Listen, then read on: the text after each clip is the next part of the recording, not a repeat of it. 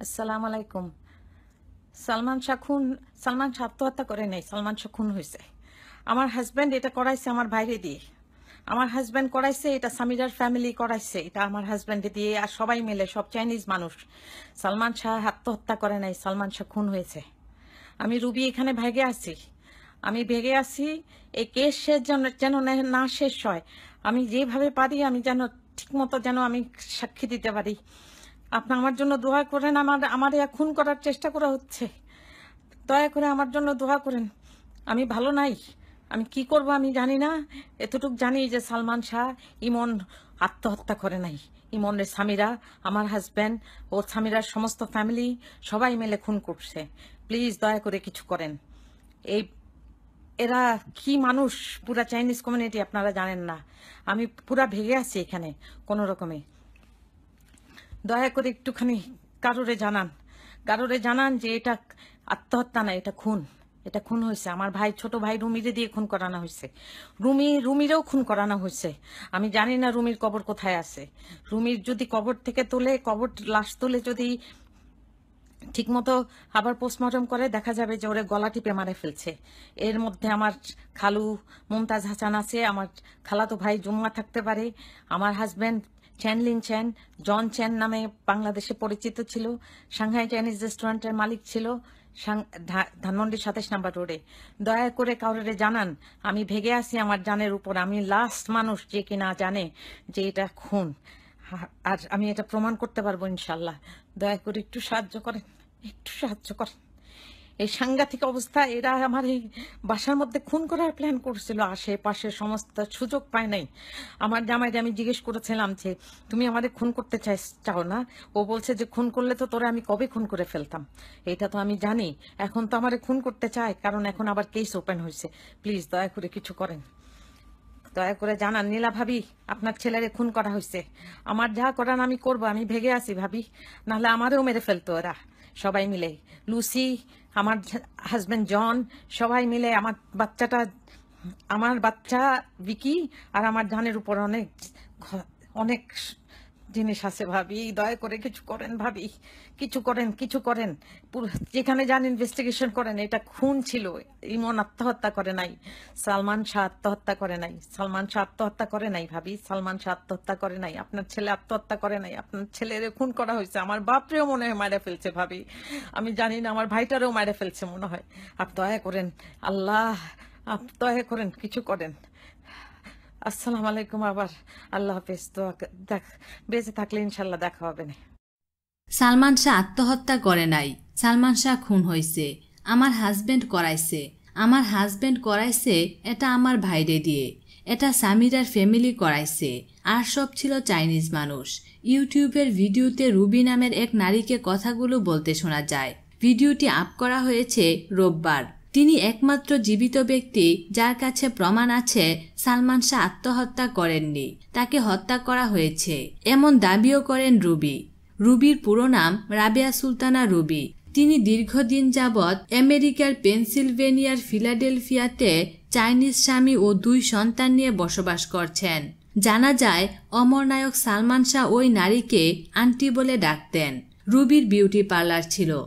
সালমান ও সামিরার সাথে তার বেশ ভালো সম্পর্ক ছিল। সালমান মারা যাওয়ার পর অনেকের মতো রুবিকেও পুলিশ সন্দেহ করে। কিন্তু ঘটনার সঙ্গে তার সংশ্লিষ্টতার কোনো প্রমাণ পাওয়া যায়নি। তবে সালমান ভক্তরা বারবারই বলে আসছিলেন, সালমানের মৃত্যুর ব্যাপারে রুবি কিছু না কিছু জানেন। সালমান মারা যাওয়ার পর থেকে রুবি বিদেশে আছেন। এর আগে অনেকবার দাবি করেন, সালমানের মৃত্যুর ব্যাপারে তিনি কিছু জানেন না। কিন্তু রোববারের এই ভিডিওতে ভয়ের সাথে বলছেন, সালমানকে খুন করা হয়েছিল। সামিরার ফ্যামিলি আর রুবির স্বামী এই খুনের সাথে জড়িত।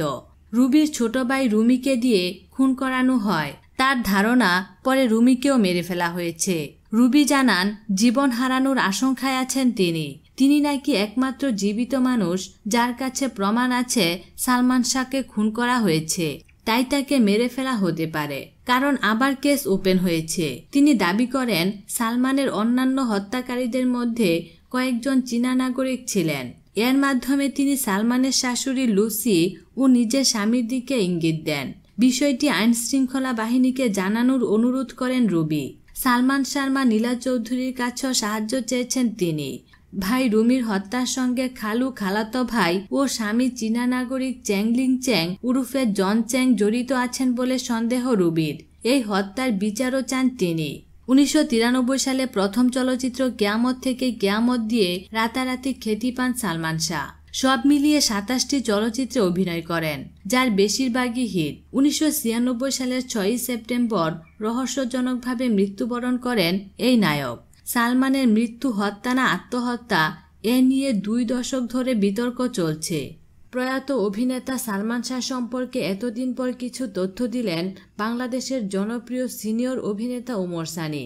তানভীর তারেকের সঞ্চালনায় একটি গণমাধ্যমের রাতাড্ডা নামক ভিডিও প্রোগ্রামে সালমান শাহ সম্পর্কে বেশ কিছু কথা বলেন তিনি। উমর সানি বেশ প্রশংসা করেছেন প্রয়াত অভিনেতা সালমান শাহ ভিডিওতে ওমর সানিকে বলতে শোনা যায়, সালমান তার স্ত্রীকে খুব বেশি ভালোবাসতেন। আমি মনে করি এটা তার জন্য একটু কাল হয়েছে। তিনি আরও বলেন, সালমান শাহ যে মেয়েটিকে বিয়ে করেছিল, আমি তাকে একদমই শ্রদ্ধার চোখে দেখব না।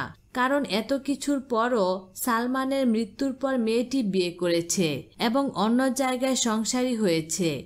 অমরনায়ক সালমান শাহ, মাত্র চার বছরের কেরিয়ার তার। তার অভিনীত সাতাশটি ছবি দেখে সিনেমা প্রেমীরা সালমানকে নায়কের মডেল মানের আজও। সালমান শাহর পাশাপাশি স্মরণ করা হয় তার স্ত্রী সামিরাকেও। অনেকেই জানতে চান, কি করেন, কেমন আছেন সালমান শাহর স্ত্রী সামিরা।